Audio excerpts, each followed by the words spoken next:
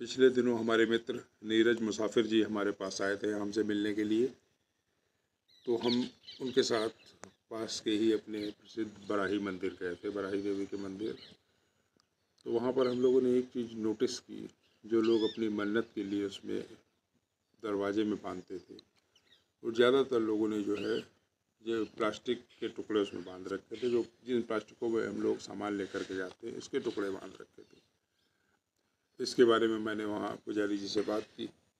तो उन्होंने बताया, जो लोग लेकर के आते हैं प्रसाद, वही पन्नी होती है, आसपास की पन्नी उठा करके अपनी मन्नत का इसमें बाँध देते हैं। तो मैंने उनसे कहा था कि, नहीं, अब मैं यहाँ पर ला एक सुतली का बंडल ला के रखूँगा और एक कैंची पास में ही।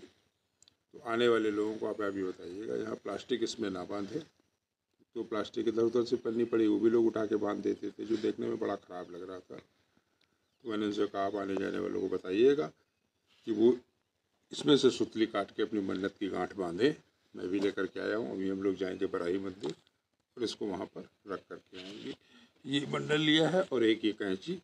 ये हम वहीं रख देंगे, जिससे हमें प्लास्टिक का कम से कम उपयोग देखने को मिले। और ये है बराही मंदिर का गेट। हमारे पीलीभीत टाइगर रिज़र्व से बिल्कुल सटा हुआ है बराही देवी का मंदिर। काफ़ी पुराना, सैकड़ों साल हो चुके हैं। कई यहाँ बुज़ुर्ग हैं साठ सत्तर साल के तो बताते हैं कि जब वो आए तब भी ये मंदिर था।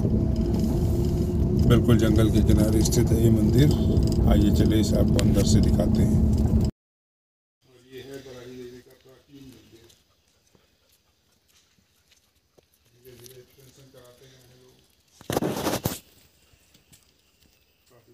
बराही देवी का मंदिर। कितना पुराना है भाई ये? बहुत पुराना। हैं? हाँ सौ साल तो हो ही गए होंगे। अच्छा।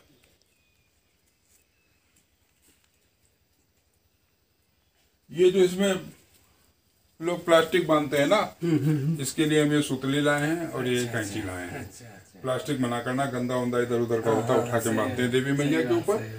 तो इसको ये जो है किनारे लटकवा देना इसे ठीक है? और एक तरफ़ ये कैंची लटकवा देना। जिसको अपनी मन्नत माननी है। वो ये बांधेगा इसको। गंदी संदी पन्नियों को नहीं बांधेगा। जरा अंदर खुद दो दर्शन कर ले भैया के।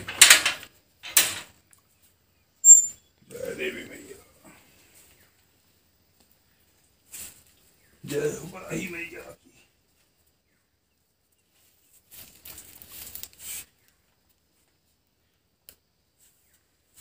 आ बेटा इधर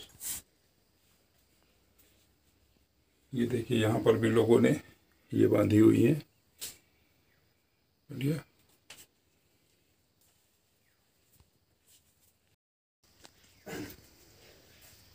देवी माँ से एक मैं भी छोटी सी मन्नत आज मांग रहा हूँ। ये गांठ बाँध रहा हूँ। उम्मीद है देवी माँ जल्द मन्नत पूरी करेगी और मैं आकर के इसे खोलूँगा। माता की कृपा बनी रहे। उस बार तो टीम आई थी पूरी जब पीछे था टाइगर। इसमें हाँ। में था। अच्छा अच्छा अच्छा हाँ, दो गैया मार दिया था बछड़ा मार दिया एक सुअर भी मारा था। अच्छा।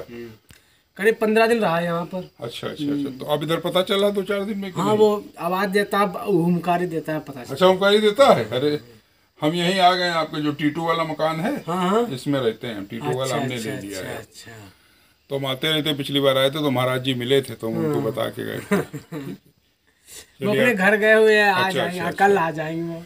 चलो हमने गांठ बांधी उम्मीद है एक हफ़्ते के अंदर हमारी मन्नत पूरी होगी। तो आके मिठाई। खिलवाते हैं आप लोगों हाँ, सबको। अच्छा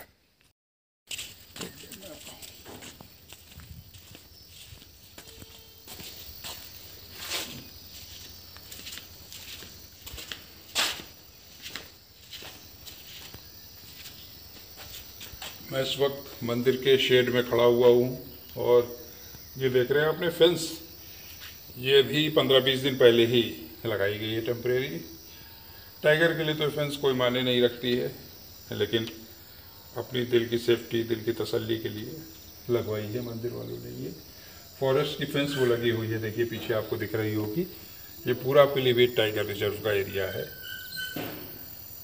जैसा अभी पंडित जी भी बता रहे थे कि बाघ आता है, अक्सर हुंकार सुनाई पड़ती है उसकी। बिल्कुल घना dense forest Pilibhit tiger reserve का। और ये मंदिर है, देखिए, वो मंदिर में महाराज जी का कमरा है। अभी महाराज जी यहाँ आए नहीं, बाहर गए हुए हैं। मंदिर से हम लोग वापस आ चुके हैं अब। और बराही मंदिर के बारे में आप लोगों को मैंने जो जानकारी दी, वो आप लोगों को कैसी लगी, मुझे कमेंट्स में बताइएगा। और अगर आप यहाँ विज़िट करना चाहते हैं तो आपको मेरा नंबर मिल जाएगा मेरे चैनल से। आप लोग मेरे चैनल को देखते रहिए सब्सक्राइब करिए और ऐसे ही मुझे मोटिवेट करते रहिए। Thank you